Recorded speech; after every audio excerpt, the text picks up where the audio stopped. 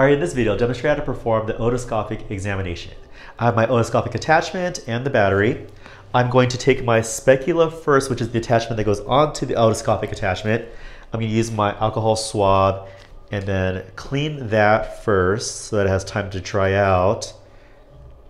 And then you want to make sure you use two different ones for each ear or a different one for each ear because in case there's an infection on one, you don't want to transfer that infection to the other ear.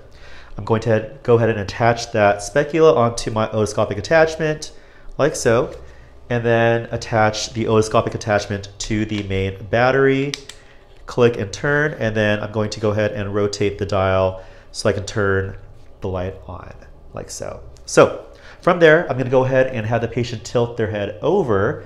I'm gonna grab the pinna up and out, and what I wanna do is kind of hold it like a pen and I'm going to use my pinky to go along his cheek. That way, if he moves, I don't pierce or stab through the eardrum. So for patient for patient comfort. So I'm gonna go ahead and place my pinky there. I'm grabbing the pinna in and out, inserting the specula into the ear, and then I'm gonna look inside, and I should be able to look and see and find the tympanic membrane, which I do. And then I'll go ahead and remove the specula, change that out, insert the other one on, sterilize that, and then check the other ear.